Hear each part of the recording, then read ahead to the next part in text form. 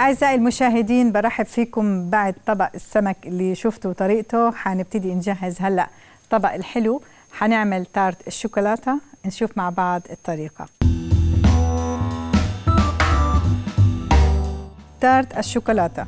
الطبقة السفلية كوب من البسكوت المطحون 2 ملعقة كبيرة بودرة كاكاو سادة 3 ملعقة كبيرة سكر ناعم الحبيبات 8 ملعقة كبيرة زبدة مذابة ونصف ملعقة صغيرة من القرفة.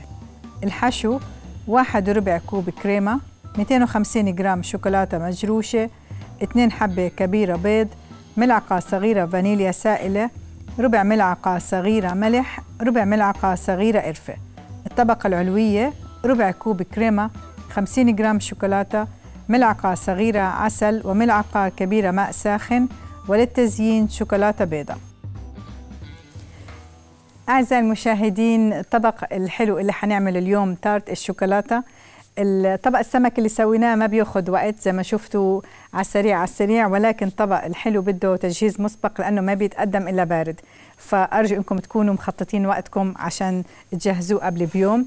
هحتاج قالب التارت. قالب التارت بيبقى عندي بهذا الشكل مقسوم إلى جزئين بيبقى متحرك القاعدة.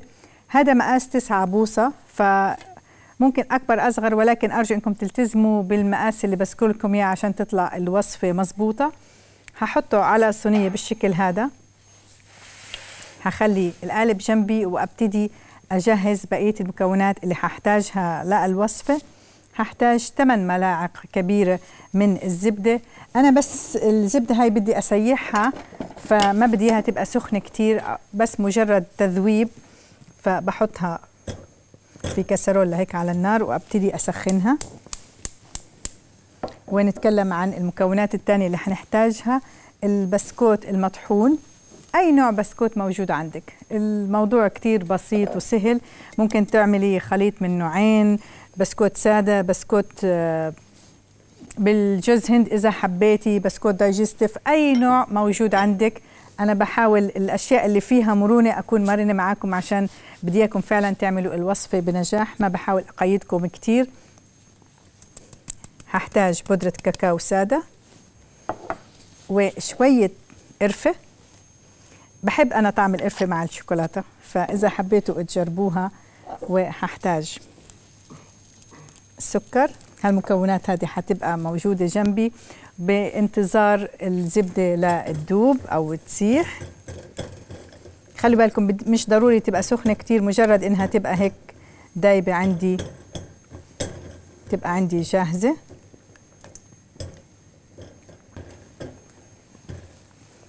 يبقى هلأ الزبدة عندي دابت. وأحاول زي ما قلنا قدر الإمكان ما أخليها تغلي لأنه غليان الزبدة هذا ممكن يفصلها فأنا بدي بس مجرد زبدة دايبة خليني أحركهم الأول شوي هيك وأبتدي أضيف الزبدة بهالطريقة. هحرك الخلطة هذه مع بعضها. وصفة التارت هذه كتير بسيطة. إحنا في كتير وصفات كنا بنعمل التارت من العجينة ولكن فكرة البسكوت هون حتعملي لكم طعم جديد وبنفس الوقت سهلة وبسيطة. هبتدي أحطها في قالب التارت. ويفضل إنكم تكونوا لابسين جوانتي عشان حيصير كل إيدينا بالشوكولاتة فالجوانتي حيحفظ لك على ايديكي وأبتدي أضغط على البسكوت بهالطريقة أوزعه بهذا الشكل. خلوا بالكم هو مش سخن لأنه زي ما شفتوا الزبدة يا دوبك عندي بس ساحت. اخليه يرتفع هيك على الأطراف. ما تقلقوا من الوسط أنا هلأ بظبطه. نأمن بس الأطراف الأول بعد هيك أبتدي هاي قطعة من البسكوت هيك. أتأكد إنه كل القاع عندي صار مغطى والجوانب بهالطريقة هاي بدخلها الفرن لحوالي عشر دقايق لا خمس دقايق خلينا نقول. وبعد هيك بس تطلع من الفرن أكون أنا بديت أجهز الحشوة. حشوة كتير بسيطة. برضو على النار هحتاج 3 أرباع كوب من الكريمة.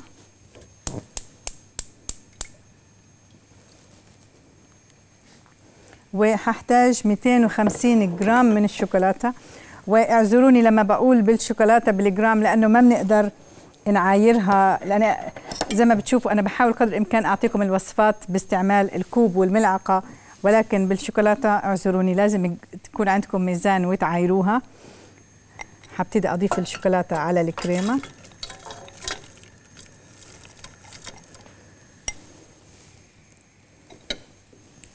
وحضيف شوية برضه من القرفة. حتعطيني طعم لطيف. ما نكتر مجرد رشة خفيفة. على فكرة هون ممكن تستعملوا قرفه الحلويات لأنه ريحتها بتبقى كتير هادية يعني ما بتبقى وطعمها هادي جدا مش مزعجة زي القرفة العادية. وهي بتلاقوها في السوبر ماركت عادي. أبتدي هلأ أحرك لغاية ما الشوكولاتة عندي تدوب. وأثناء ذلك خلوني أبتدي أجهز البيض. أنا ححتاج بيضتين. أجهز الحشوة.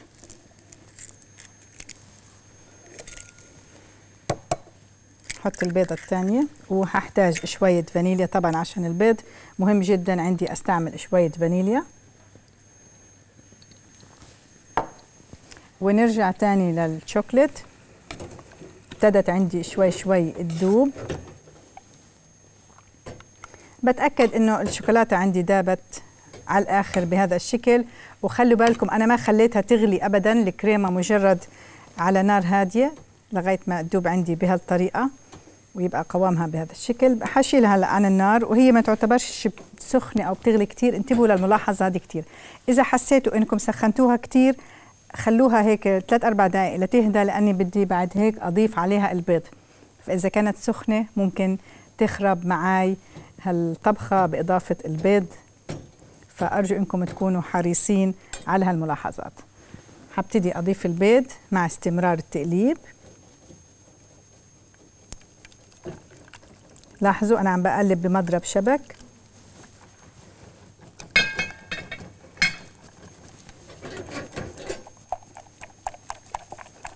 والخليط الحشوة هلأ صار عندي جاهز. في منتهى السهولة شفتوا ما بتاخذ منكم الوصفة أبدا أي شغل. بصبها في القالب. ممكن على فكرة تعملوها في قوالب صغيرة بس بتاخذ كتير مجهود ساعتها. إحنا حابين نريحكم. عشان هيك عم بستعمل قالب كبير شوي. هلا بدخلها الفرن خليها هيك بالنص شوي. بدخلها الفرن على درجة حرارة 180 حوالي من 15 ل 20 دقيقة. كيف نحكم عليها إذا استوت؟ اللون البني ما حيعطيكم مجال أنه مش زي الكيك نقول لما يتحمر لأ. عشان تحكموا عليها إذا استوت حتلاحظوا إنه الوسط صار متماسك. لاحظوا إحنا هلأ لما بنهزها بتبقى طرية بهذا الشكل. فبعد ما أدخلها الفرن ل 15 دقيقة حتهزوها بهالطريقة حتلاقوها صارت يابسة أو متماسكة. معنى هيك إنها استوت. بطلعها وبخليها تبرد تماما. الطبقة العلوية تجهيزها كتير بسيط. حنحتاج برضه شوكولاتة وشوية كريمة حوالي ربع كوب فقط من الكريمة. بس تأكدوا إنه الطبقة العلوية هذه مش حضيفها إلا بعد ما تماسكت الطبقة اللي هي حملناها الحشو. عندنا حوالي 50 جرام من الشوكليت وححط عليهم شوية عسل. العسل بيعطيني هيك طبقة لماعة حتشوفوا هلأ شكلها. ساعة التقديم. وإذا حبينا نحط رشة فانيليا وحنحط لهم رشة خفيفة من الملح. وحسخنها برضو على النار لغاية ما تدوب عندي. هخليها هيك على النار وأبتدي شو رأيكم أجهز التارت؟ هنحتاج طبق. وعندنا التارت هون جاهز.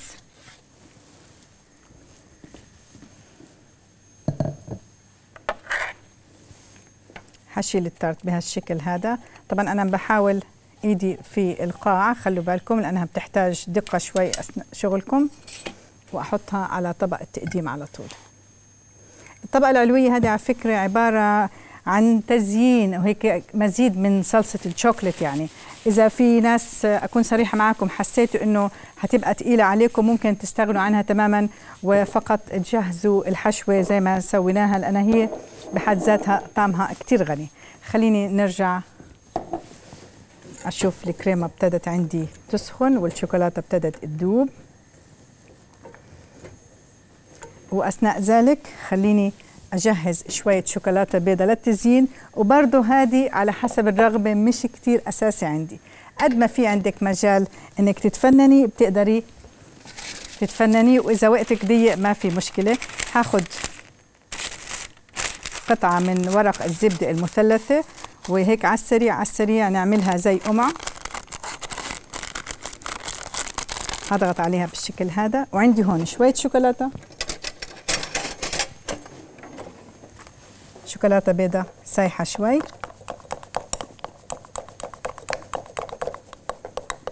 هناخد شوية شوكولات أبيض وخليها في الكيس بهالطريقة. زي ما بنقول دايما هذه على حسب الرغبة مش أساسي عندي في وصفة هاي حخليها جنبي. نرجع للشوكليت صوص. ابتدت عندي الكريمة هيك تسخن. أهم شيء الله يخليكم تنتبهوا للملاحظات ما بدي إياها تغلي.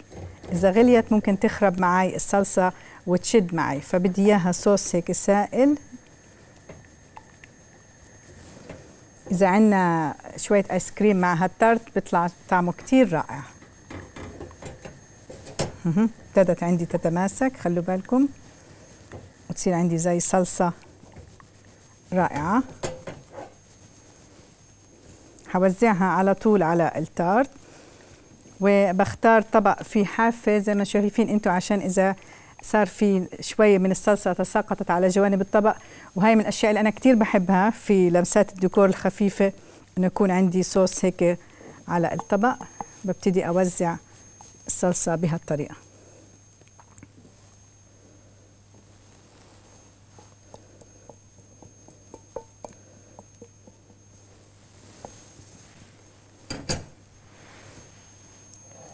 بشكل خفيف خالص.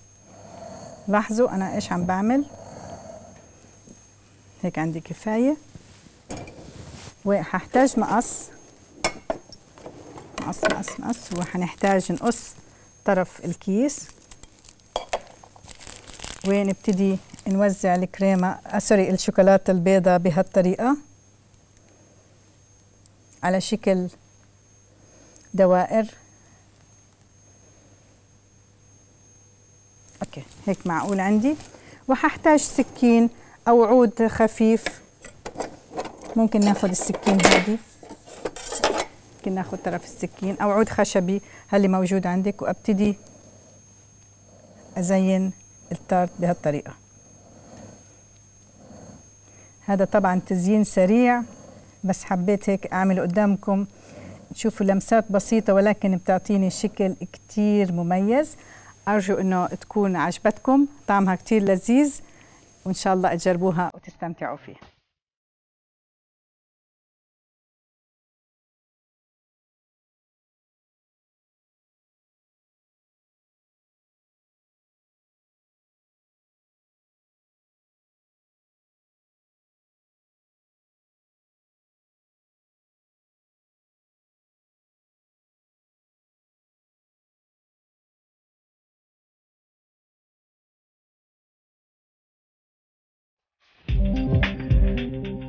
خلطنا مكونات القاعدة السفلية البسكوت مع الزبدة والقرفة والسكر والكاكاو. وزعناها في قاع وجوانب قالب التار. جهزنا صلصة الشوكولاتة بتسخين الكريمة مع الشوكولاتة. وزعناها على التارت وزيناها بالشوكولاتة البيضاء.